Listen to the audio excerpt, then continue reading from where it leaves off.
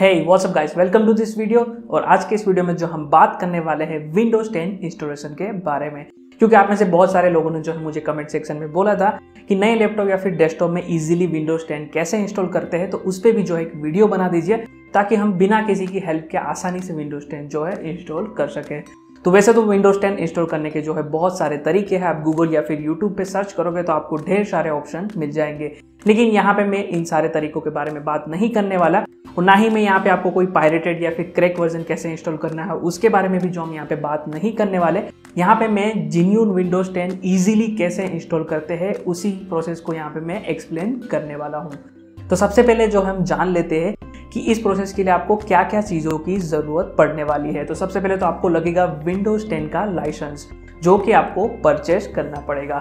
हालाँकि ज़्यादातर इंडियन जो है पायरेटेड विंडोज़ प्रीफर करते हैं, जो कि प्राइवेसी को लेके बिल्कुल भी सेफ़ नहीं है। प्राइवेसी को लेकर उसमें बहुत सारे प्रॉब्लम जो है वो आ सकते हैं। तो उससे बेटर है कि आप विंडोज़ 10 का लाइसेंस खरीद के एक जेन्यून विंडोज़ 10 जो है वो यूज़ करें। तो अब आपका सवाल होगा कि कहाँ से ये विंडोज़ 10 लाइसेंस हम खरीदें? तो वो भी चलो मैं आपको यहाँ पे बता देता हूँ। तो एक तो आप जो है ऑफिशियल माइक्रोसॉफ्ट स्टोर या फिर अमेजोन से विंडोज़ का रिटेल वर्जन परचेस कर सकते हो, जिसको ज़्यादातर लोग खरीदना पसंद नहीं करेंगे, क्योंकि काफ़ी ज़्यादा जो ये महँगा पड़ता है।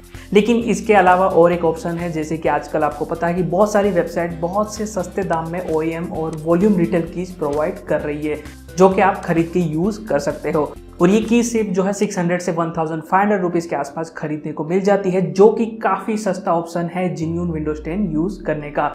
और हर कोई इसे अफोर्ड भी कर सकता है। हालाँकि इसमें से बहुत सारी वेबसाइट जो है फ्रॉड भी है, जिसके बारे में मैंने अलग से एक वीडियो भी बनाया था तो आप चाहो तो वो भी जो है मेरे चैनल पे चेक कर सकते हो। वेल, अब इसमें से कितनी वेबसाइट जिन्यून है, वो तो मुझे पता नहीं, मैंने सारी ट्राई नहीं की। लेकिन अगर आपको खरीदना है तो मैं एक ऑप्शन आपको जो है दे सकता हूँ। आप टेकमार्ट अनबॉक्स डॉट कॉम करके एक वेबसाइट है, वहाँ से आप जो है ये विंडोज़ लाइसेंस जो है वो परचेज कर सकते हो। क्योंकि वहाँ पे मैंने रिसेंटली विंडोज़ 10 प्रो का ओ लाइसेंस परचेज किया था। और मेरा जो ओवरऑल एक्सपीरियंस रहा, वो काफ़ी अच्छा रहा। मैंने कुछ नाइन हंड्रेड रुपीज़ के आसपास जो है विंडोज़ प्रो का ओएम की लाइसेंस वहाँ से ख़रीदा था। तो आप चाहो तो वो वहाँ से जो है ख़रीद सकते हो। इसके अलावा और क्या क्या लगेगा वो देख लेते हो। तो एक तो आपको मिनिमम एट जी की इसमें पेन ड्राइव की ज़रूरत पड़ेगी इंटरनेट कनेक्शन की ज़रूरत पड़ेगी और एक दो घंटे का आपका कीमती समय भी जो इसमें लग जाएगा। और हाँ अगर आप फ़र्स्ट टाइम अपने लैपटॉप या पीसी में ओएस इंस्टॉल कर रहे हो तो आपको अलग से एक कंप्यूटर भी लगेगा जहाँ पे आप ये इंस्टॉलेशन फ़ाइल जो है वो तैयार कर सको। तो चलिए अब यहाँ पे जल्दी से स्टेप बाय स्टेप मैं आपको दिखा देता हूँ कि आपको कैसे विंडोज़ 10 को इंस्टॉल करना है।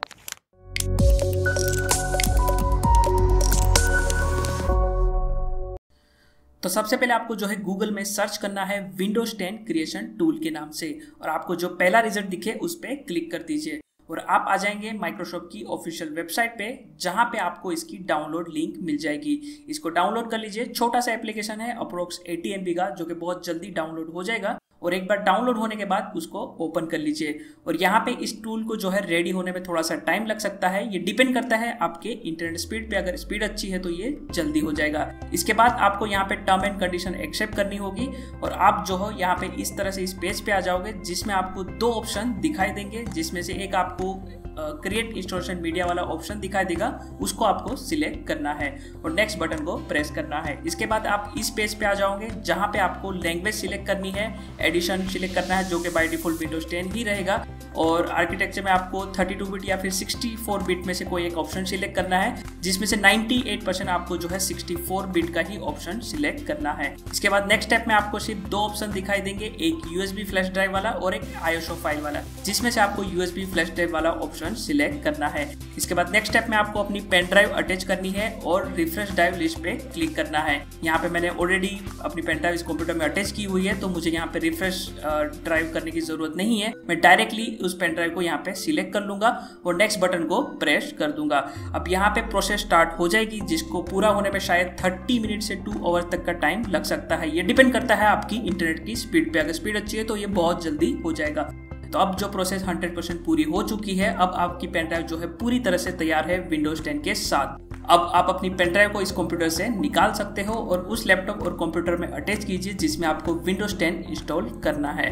पेन ड्राइव अटैच करने के बाद अगर आपका कंप्यूटर पहले से ऑन है तो उसको रिस्टार्ट कीजिए या फिर ऑफ़ करके वापस ऑन कीजिए, क्योंकि आपको इसके लिए जो है उसके बायोस सेटिंग में जाना होगा। इसके लिए आपको इसको ऑफ़ करके वापस ऑन करना तक पड़ेगा, ताकि आप इसके बायोस सेटिंग में जा सको।